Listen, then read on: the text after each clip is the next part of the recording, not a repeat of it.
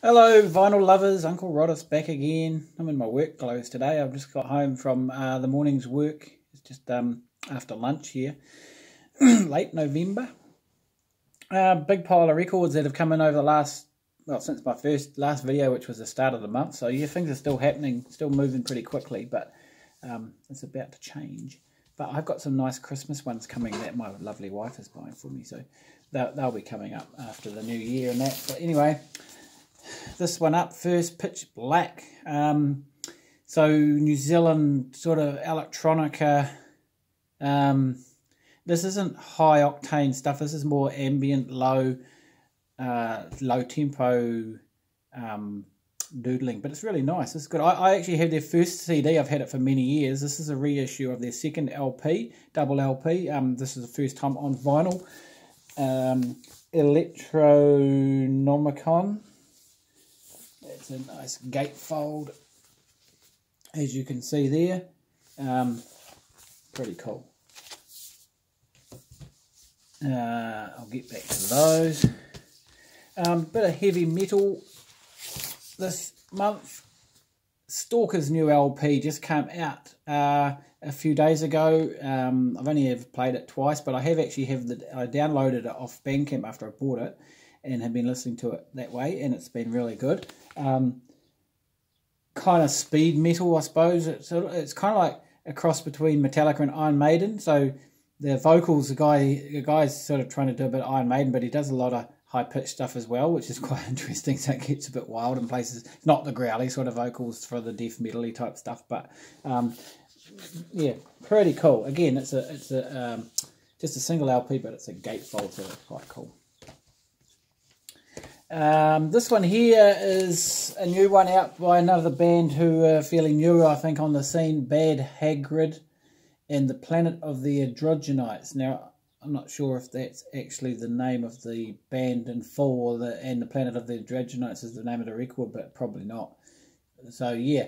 Um, this actually has kind of commercial potential, but it's still alternative, so that's... Um, I did describe it to someone some great singing on here. The guy's very soulful voice and some nice guitar work. I, have only actually played it the once. I haven't had a chance to get through it because I've got so much happening, so many other things happening. And um, this has only been played a couple of times so far. This is the new album by the Bats. Sorry, I'll tilt that a bit. Still got the the, the shrink wrap on it. Um, Foothills, their what does this say? This was about their tenth album or something in forty years, so they're not hugely prolific, but you know, this is the second new one they've done in about the last four or five years. Uh, standard bat stuff, really good, really nice.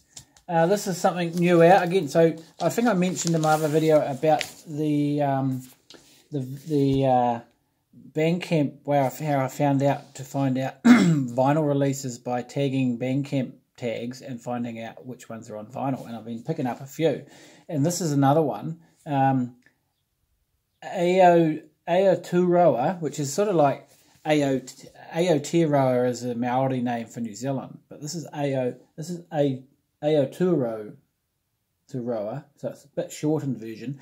There's just a, a single guy called Tom Scrouse. Um, real mix of stuff on here too. A uh, couple of really good ambient sort of electronic ambient sort of tracks, um, and then there's some more sort of different stuff. Uh, God, I can't even remember now what the other tracks are like. I've, again, so much records coming in, I haven't had a chance to listen to it. I need to download that and put it on my phone and have a, a bit more of a listen. More heavy metal, The Void from 3000 AD. This is on Total Metal Records out of Czech, Czechoslovakia or something like that. Um, this is number 48 of a limited edition, I believe, of 100. Now there were it says on Bandcamp there were fifty available here for New Zealand, I think, and then they the rest are available. Um, I think on Discogs. Someone said they picked up a copy of Discogs. So um, yeah, more heavy metal. This is more classic metal. Some good tracks on here. The first track, 3000 AD, it's got a real Faith No More feel to it, actually. It's um, pretty cool. Um, this is from my hometown of Christchurch, so really cool. It's not a gatefold, that one. Um, this one here has just arrived uh, yesterday. Might just leave it in the shrink wrap, in the wrap. Um, right, so Wah Records are doing some fantastic New Zealand releases of very hard to get records, and uh, I think I showed, well, I did show the Underdog's second LP several weeks ago, and finally this one has come out. They were, I thought they were going to be released in one go because that was when I picked up the two farmyards, but you know, this finally has shown up. Uh, so originally released in 1969. Um, this is a blues LP, blues rock, um, very bluesy, with a lot of cover versions by um, Elmore James and and um, uh, there's John Mayall song and all sorts of stuff. There's only three originals on here. It hasn't got the their famous single that they put out before this. There's about they put out about three singles before this LP. There's only a, there's only a trio. No, sorry, four.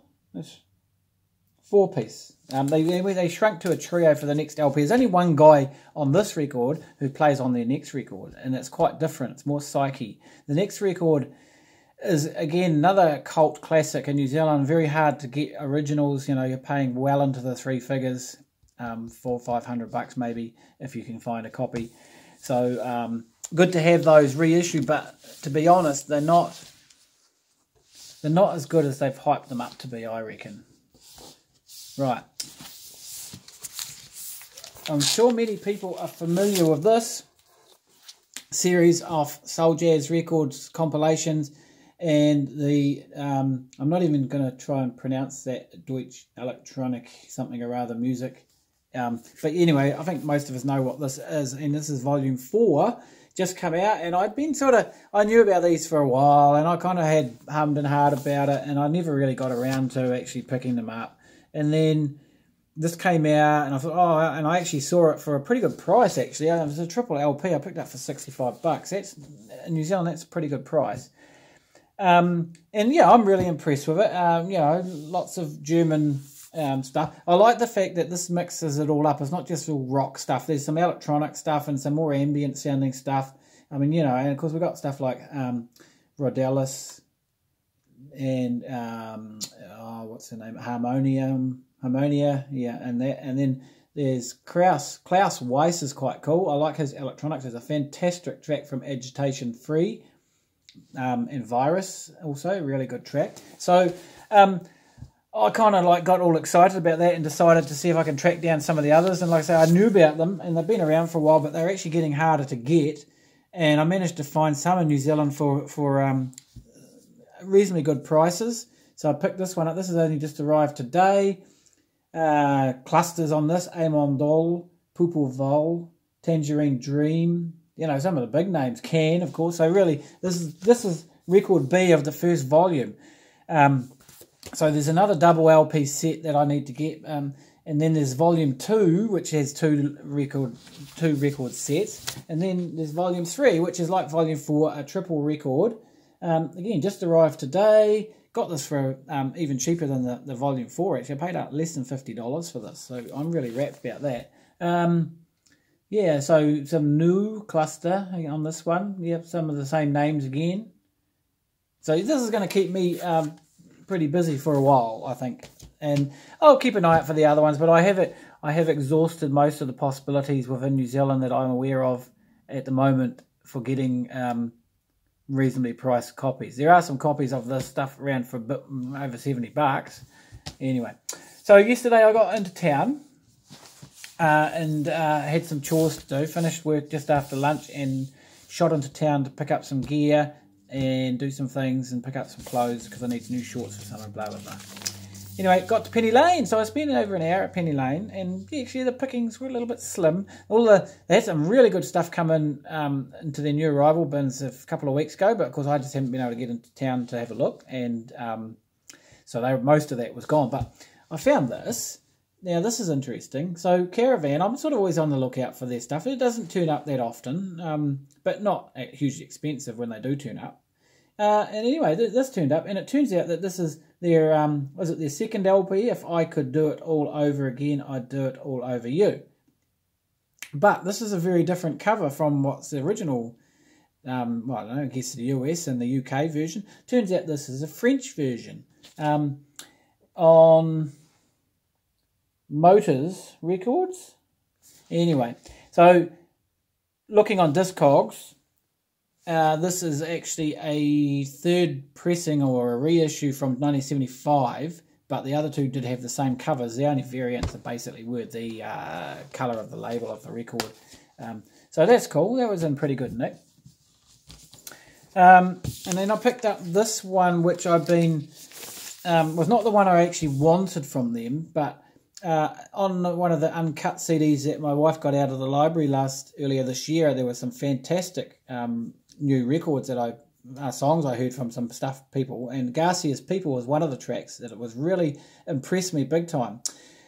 That album I haven't been able to lay my hands on within New Zealand um, in in vinyl format, but this one was in the bins yesterday, and apparently this is their latest, I think, from 2020, earlier this year. Uh, Nightcap at Wits End.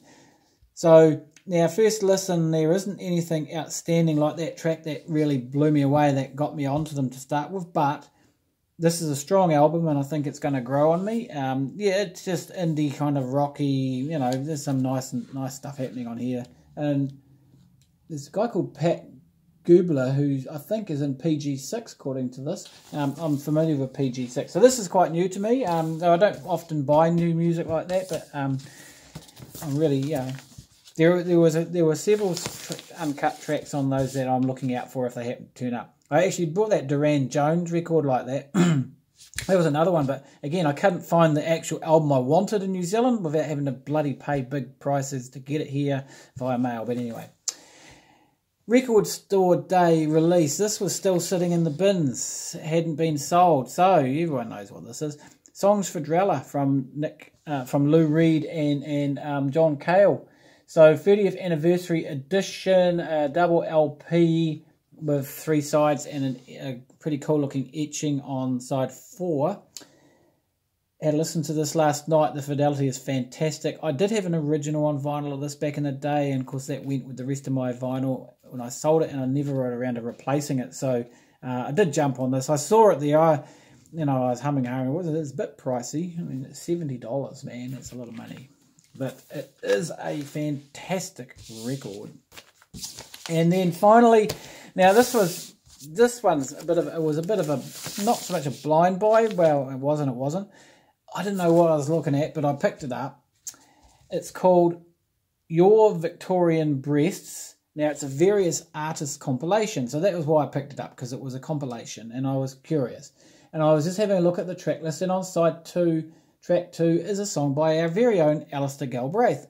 And I thought, hey, wow, that's cool. So that really got me interested. And so I um, had a look at it and then didn't recognize any of the other people on it. So I had a quick flick on the turntable in the shop and a couple of tracks I listened to sounded pretty drony sounding, which, which you know, makes sense when you got a compilation with Alistair Galbraith on it. So yeah, got it home and uh, did a little bit more research on Discogs, found out that it is a limited edition compilation out of Sweden from 2013 or 12. Um, I have number 192 of 650 copies, hand numbered. Um, yeah, most, again, there are a couple of names who are linked. Uh, William Tyler is a name I was familiar with actually, and, and another couple of names, I can't remember which ones, which are linked to more well known indie rock or rock bands, but this is more experimental. So, there's some folksy kind of alternative folk and alternative bluesy sort of stuff, and there's some drony ambient stuff going on. There's, there's, quite a mix of stuff. Really good, really good. So yeah, I always like that. I was into that sort of stuff. It is a double LP gatefold, um, really good nick. So that was that's my lot. That's a big bunch of uh, November's arrivals, and uh, I've still got a few more in the mail, and then Christmas time and birthday coming up. So yeah, see you next time. Cheers.